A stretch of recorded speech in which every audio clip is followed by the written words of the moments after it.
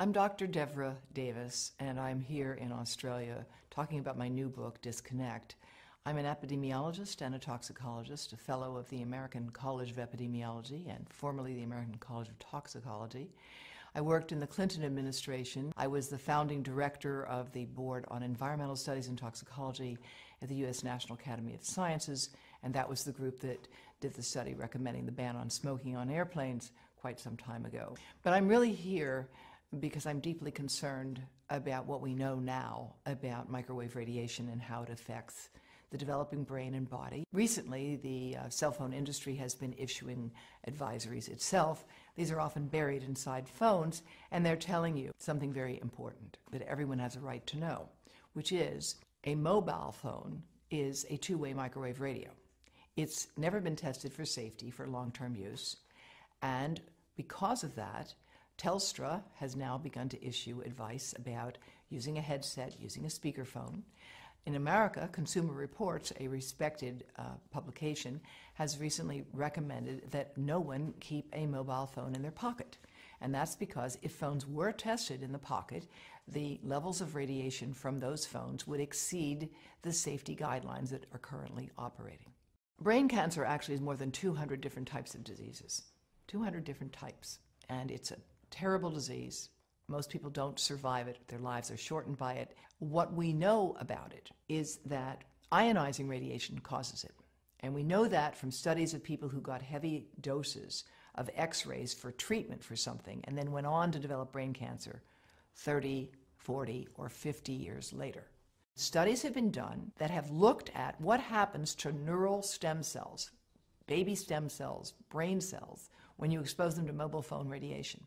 And what those studies find is that if you expose those cells, you can look at their membranes, and you find the membranes are weakening and opening. And all of these tests have experimentally indicated that mobile phone radiation can damage human brain cells and cause more damage to young human brain cells than to old human brain cells. Because when you put that phone here, your head is the antenna. And half of the radiation from the phone gets into you. That's the modeling work that we've done at Environmental Health Trust, which shows that a young brain will absorb the radiation almost all the way through the eye of a three year old, and even an adult 34 year old, it will still get into this part. And we are seeing effects uh, of, of many different sorts as a consequence of this. Those who are on the front line of dealing with young children are deeply concerned about this at a professional level in the United States and around the world in Israel, as well as France, as well as Belgium and Taiwan, there's an active government program to discourage the use of mobile devices by young children. There's a growing literature showing that prenatal exposure to mobile phone radiation causes serious defects in the offspring. Smaller brains, more brain damage, smaller livers, more liver damage, damage to skin cells as well there are good reasons for concern about the long term and short term effects of mobile phone radiation, particularly on children, but especially on sperm. Now, the sperm studies have been developed in more than seven different countries, and what they find is that the sperm that are exposed to current levels of mobile phone radiation die three times faster and have three times more damage on their DNA, indicating that mobile phone radiation is damaging to human sperm. More than 100 scientists have joined with me and with the chief of obstetrics and gynecology at Yale University Medical School. We have put together the Baby Safe Project, and they are handing out information to every pregnant woman that walks into Yale New Haven Medical Center, 4500 a year, telling them how and why they need to avoid exposing the pregnant abdomen to mobile phone radiation. The breast cancer story in mobile phones is complex, as breast cancer is a complicated disease. Most of the women who get breast cancer are age 50 and older. However, growing numbers of young women are developing this disease who don't have any of the inherited risk factors for it at all, who have no family history of it, but they have one thing in common. They have all stored a mobile phone right in their bra. And in several cases, the tumors have developed right under the antenna of the phones. No phones are tested for little kids, for babies playing in their bouncy chair, for toddlers sitting in front of an iPad on an iPotty, for pregnant women holding these things over their bodies. There are no tests of radiation absorption.